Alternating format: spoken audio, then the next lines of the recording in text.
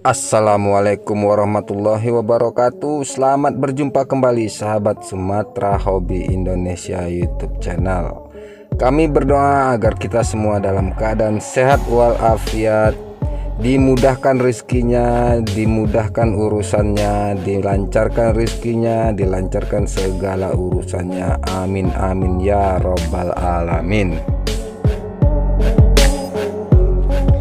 Sahabat Sumatera Hobi Indonesia, terima kasih telah menyaksikan video kami hingga detik ini.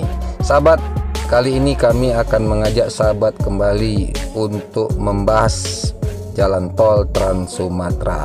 Kali ini pembahasan yang akan kami angkat sahabat uh, mengulas dampak-dampak jalan tol Trans Sumatera di bidang ekonomi dan lain-lainnya hingga detik ini ya sahabat. Jadi Silahkan sahabat simak video ini hingga selesai jadi tahu apa aja dampak-dampaknya dan apa alasan kami membuat video ini.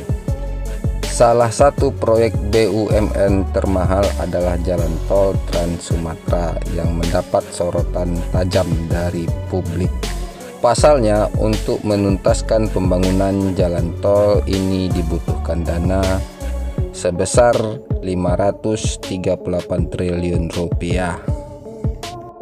Nilai ini bahkan menjadi nilai tertinggi dibandingkan dengan nilai mega proyek lainnya seperti LRT Jabodebek, kereta cepat Jakarta-Bandung, sirkuit Mandalika ataupun pelabuhan Patimban.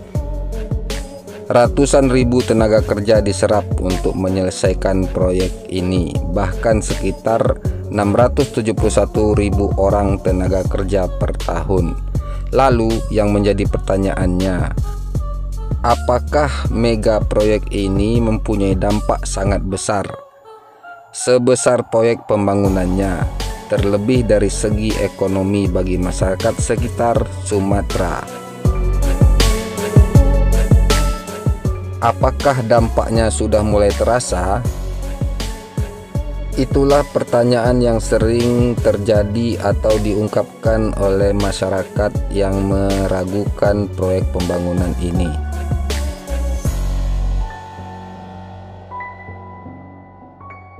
Untuk itu, mari kita tanyakan kepada BUMN, apakah jalan tol Trans Sumatera ini berdampak bagi perekonomian? Perlu diketahui bahwa jalan tol Trans Sumatera sepanjang 2812 km ialah menggunakan investasi tidak hanya bergantung kepada APBN.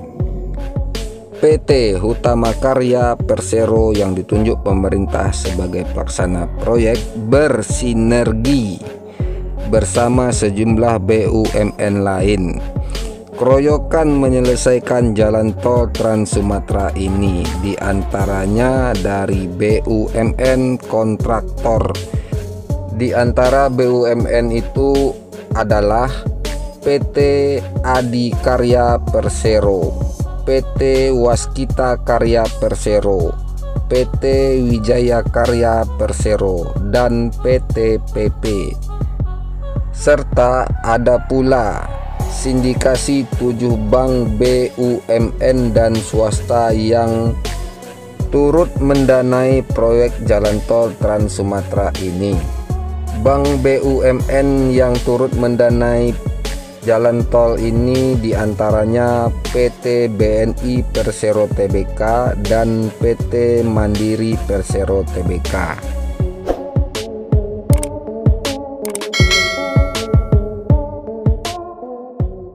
Sejak tahun 2015 hingga saat ini telah terdapat 9 ruas tol yang telah beroperasi penuh.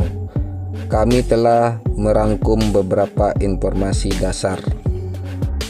Lalu, bagaimana perbandingan sebelum dan sesudah kondisi ekonomi wilayah yang sudah dilalui 9 ruas tol tersebut ada tiga kota dan satu kabupaten. Jika berdasarkan data perekonomian, Ogan Kombring Ilir dan Palembang setelah jalan tol beroperasi bergerak positif rata-rata masing-masing menjadi 5,2% dan 6,2%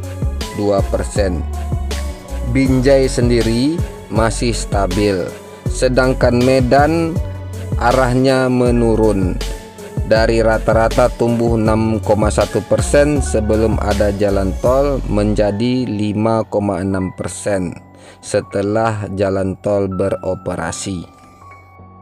Semua itu dihitung tidak membandingkan waktu normal dan masa pandemi saat ini.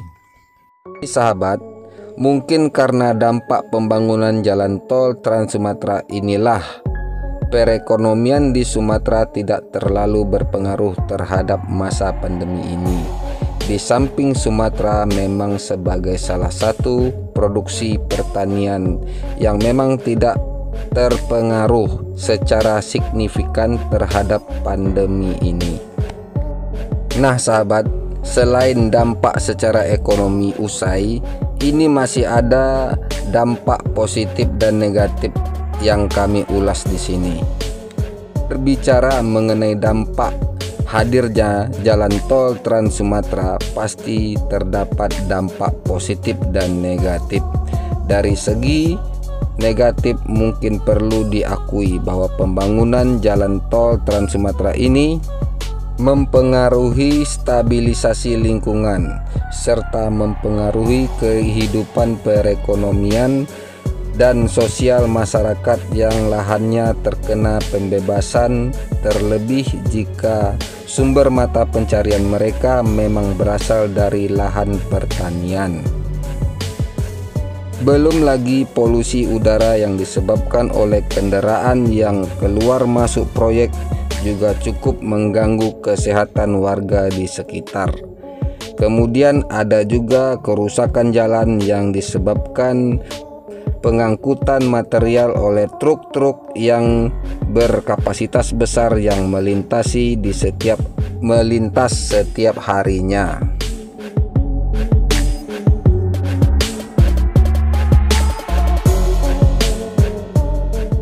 Lalu, bagaimana dengan dampak positifnya?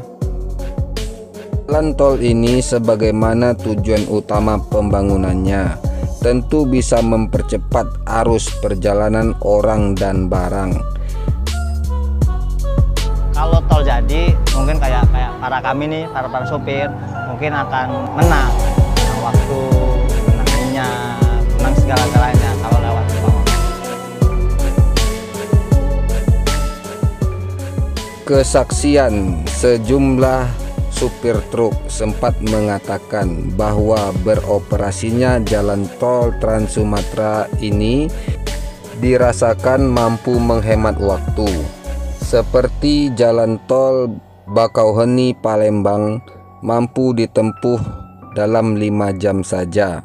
Sedangkan jika lewat jalan non-tol bisa mencapai 12 jam atau lebih. Contohnya, jarak tempuh dari Bakauheni ke kota Bandar Lampung hanya sekitar 45 menit hingga satu jam. Selain menghemat waktu, juga menghemat bahan bakar dan perawatan hingga suku cadang kendaraan. Berikutnya dari dampak positif seperti yang telah kami ungkapkan di awal video tadi mengenai serapan tenaga kerja. Proyek jalan tol Trans Sumatera ini diperkirakan menyerap tenaga kerja sehingga mencapai 671.000 orang per tahun. Rinciannya sebagai berikut. Pada tahap konstruksi sebanyak 486.000 orang dan setelah beroperasi normal bertambah lagi 185.000 orang per tahun. Angka ini setara dengan 2,4 persen tenaga kerja di Pulau Sumatera. Dengan perhitungan angka tersebut, jelas artinya jalan tol Trans Sumatera dapat membuka peluang lapangan kerja baru, bahkan peluang usaha baru. Sahabat, itulah dia dampak negatif dan positif yang bisa kami rangkum hingga saat ini untuk pembangunan jalan tol Trans Sumatera hingga bisa beroperasi beberapa ruas jalan tol. Jadi itulah dia sahabat dampaknya yang bisa dirasakan hingga hari ini. Lalu timbul pertanyaan lain sahabat.